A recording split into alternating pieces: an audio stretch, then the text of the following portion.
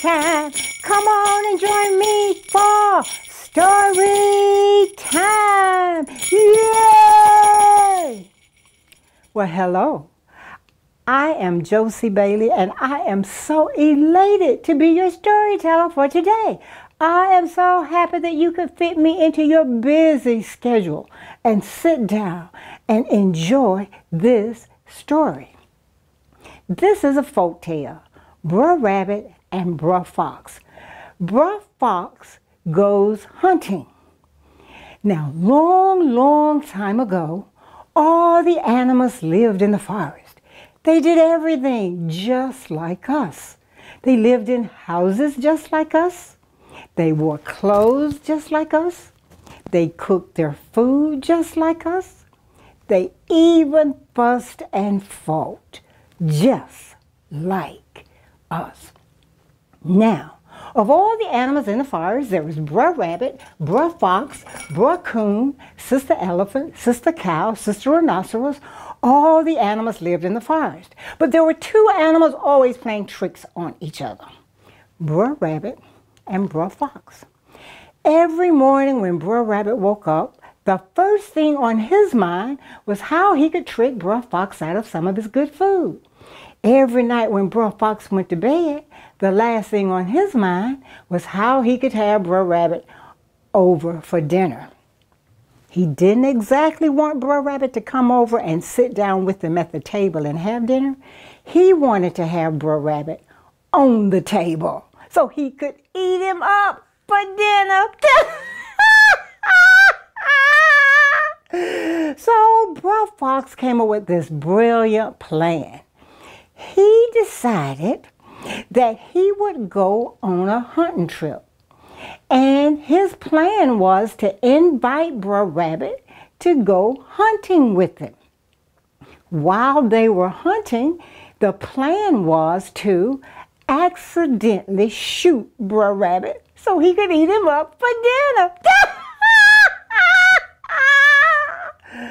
so Brer Fox grabs his hunting bag, his shotgun, goes down the road to Brer Rabbit's house, and as he gets there, Brer Rabbit is sitting on the front porch swinging back and forth and back and forth in his hammock.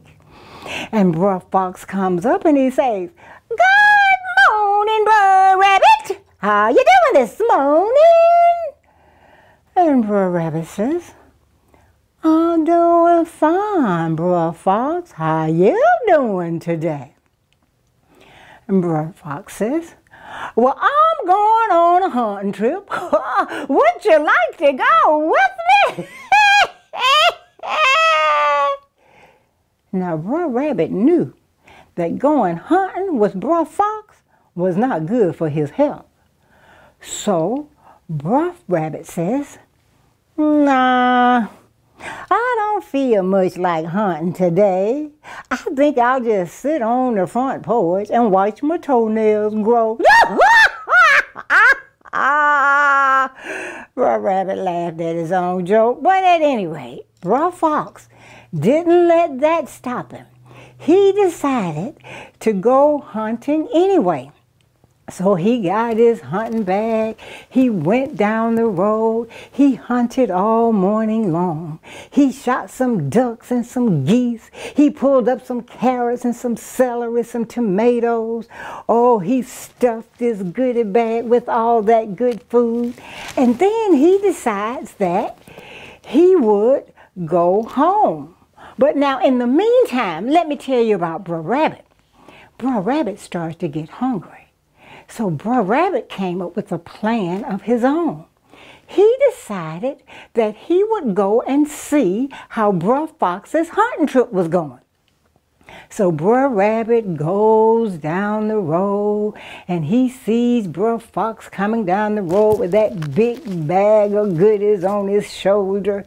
And Brer Rabbit says, now if I were to just ask Brer Fox for some of his good food, do you think he'll let me have it? well, what do you think? Do you think he'll let him have it? Well, Brer Fox Brer Rabbit knew that Brer Fox was not about to get up off of any of his food. So Brer Rabbit came up with a plan. Brer Rabbit goes down the road. He lays down and pretends he's dead. Does he look like he's dead to you? He's dead. Take it from me, he's just plumb dead. And so he Brer Fox is coming down the road thinking about his girlfriend, singing a good song, because he's thinking, I'm going to have my girlfriend over for dinner tonight. Oop, oop, oop, oop, oop, oop, oop, oop. I'm going to prepare a great meal. Ooh. And he was imagining that smile on his girlfriend's face, because when Brer Rabbit, Brer Fox, now he had the most beautiful girl in the whole forest. She was Miss Forest America. And she won every beauty contest that she ever entered because she was super, super gorgeous. She had this one tooth that sat right there in the middle of her head. and when she smiled, oh, it was a golden yellow because she never brushed it. Oh, she was gorgeous. Drop dead gorgeous. Well, at any rate, back to my story. Brer Fox was thinking about his girlfriend. So Brer Fox says, Ah, I think I'll sing a song for my beautiful girlfriend. So he's coming down the road with all that good food in his bag, and he's singing to the top of his voice because he's so happy. He's singing, I'm in love, I'm in love, I'm in love. If you ever been in love, you probably know what he feels like. So, but at any rate, he's going down the road. Now, Brer Rabbit goes down the road, and he's lying there pretending he's dead. And Brer Fox is coming down singing, and he stops, and he sees Brer Rabbit laying there just as dead as can be.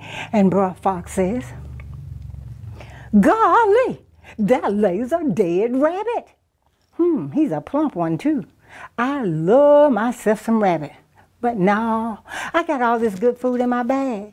So I'm not going to be bothered with any rabbit today. So Brer Fox steps over the dead Brer Rabbit and goes on down the road. Well, do you think Brer Rabbit gave up? No, he didn't.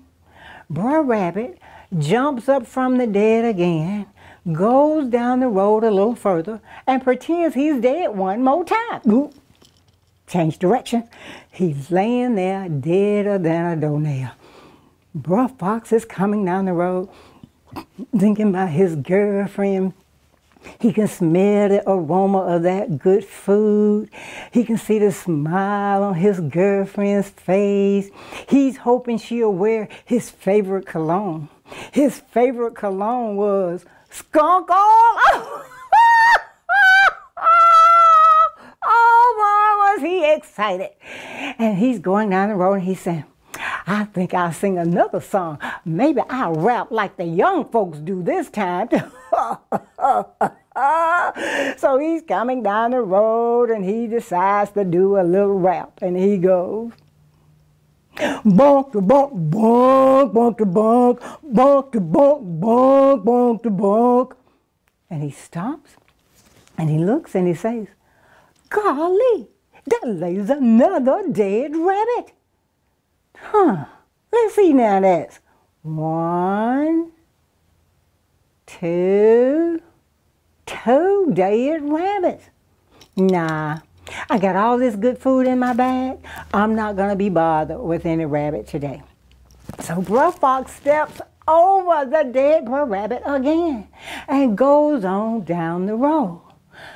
Well, now, if you know Brer Rabbit, do you think he gave up again this time? No, Brer Rabbit rose up from the dead, goes down the road a little further, and pretends he's dead one more time. This time, Brer Fox Brer Rabbit lays down and pretends he's dead. He kind of changed his position so Brer Fox wouldn't know he was the same rabbit. How brilliant is that? So Brer Fox is coming down the road. Man, he can see the smile on his girlfriend's face. He can smell the aroma of that cologne and that food.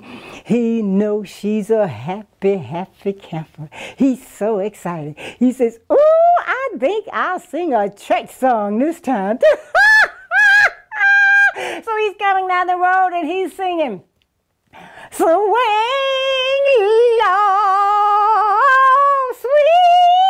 chariot. He stops, he looks, he says, Golly, there lays another dead rabbit. He just as plump as the other one was. Well, that's all right. This must be my lucky day. So, Brer Fox puts down his goodie bag, goes back and gets the other two dead rabbits. Now, while he's gone, Brer Rabbit rises up from the dead, grabs that goodie bag, and goes on home. Well, the next day, Brer Fox goes down by Brer Rabbit's house, and Brer Rabbit is sitting on the front porch swinging back and forth and back and forth in his hammock. And Brer Fox comes down the road and he sees Brer, he's dragging, he's looking so dejected and oh, Brer Rabbit says, Good morning, Brer Fox, how you doing this? And Brer Fox says, I ain't doing so well this morning, Brer Rabbit. And Brer Rabbit says, Well, how did your hunting trip go yesterday? And Brer Fox says, Brer Rabbit, all I got out of that hunting trip was a big dose of common sense. And Brer Rabbit says, Well, if I had known that common sense is what you was hunting for, I would have let you have some of mine.